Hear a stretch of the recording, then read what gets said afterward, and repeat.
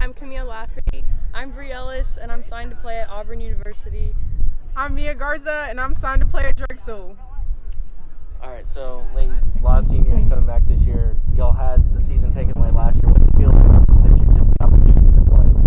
I think we're all really excited to play. We have a bunch of new freshmen, so that's really exciting. But I think overall, we're just really excited to get to play again together this year.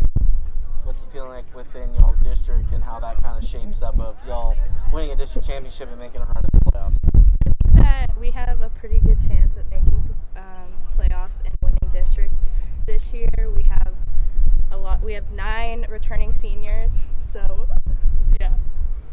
Talk about this group of uh, ladies that come to work today, these teammates of yours. What what can you tell me about them? What do they bring to the field?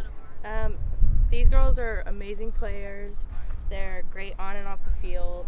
Um, I think that we've all played together for four years now, so we do really well together. All right, perfect. What's up? This is Ashlyn Jackson, and I'm here with the Lady Hawks. Don't forget to follow all of our social media channels. Especially YouTube. Like and subscribe.